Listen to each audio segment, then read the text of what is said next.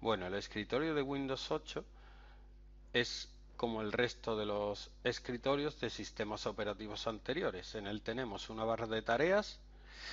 En la barra de tareas abajo tenemos iconos para la conexión a internet, para el volumen, para la carga, etcétera. Y luego aquí a la izquierda tenemos los programas que más usamos. Luego en el escritorio puede tener una serie de iconos y en este tutorial vamos a aprender a trabajar un poco con ellos. ¿Cómo se arrastra un icono? Se arrastra igual que cualquier otro elemento. Pulsamos con el botón izquierdo, dejamos pulsado y arrastramos. Y donde lo queramos dejar, lo soltamos.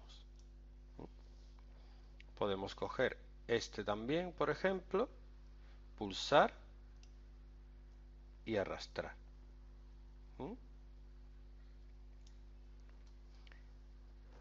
El resto de opciones del escritorio podemos acceder desde el botón derecho del ratón. Hacemos clic con el botón derecho en el escritorio y tenemos un menú, se llama menú objeto porque depende del objeto al que se le dé sale un menú distinto. En el escritorio sale este.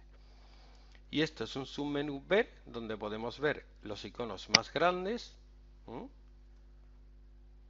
y para volver a como estábamos antes le damos otra vez con el botón derecho le damos a ver iconos medianos. Y si queremos ver los más pequeños le damos al botón derecho otra vez ver iconos pequeños. Podemos ordenar los iconos por ejemplo por nombre. Se organizan por nombre A, B, F, M, O y podemos seguir moviéndolos. Yo suelo poner los que tienen una utilidad parecida en el mismo sitio. Por ejemplo, aquí están los navegadores, las utilidades,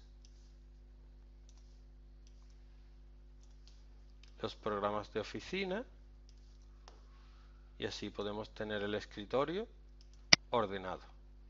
Repetimos, para mover pulsamos y arrastramos y botón derecho Ver para cambiar opciones de cómo se ven los iconos en el escritorio.